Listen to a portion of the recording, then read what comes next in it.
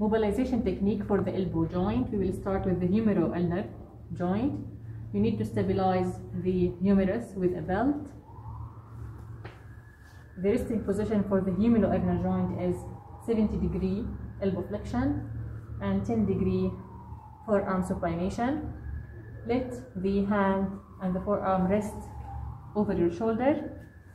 With one hand, the one near to the body, you need to grasp the ulna. The other hand, I'm reinforcing my grip.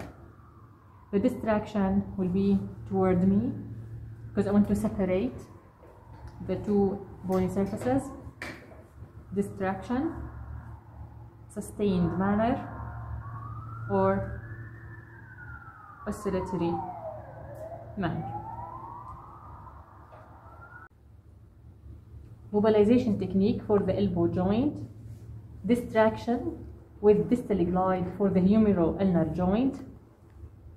One hand will be over the ulna, the other hand will be reinfor reinforcing the grip. Now the movement is distraction with distal glide. Distraction with distal glide, like a scoop.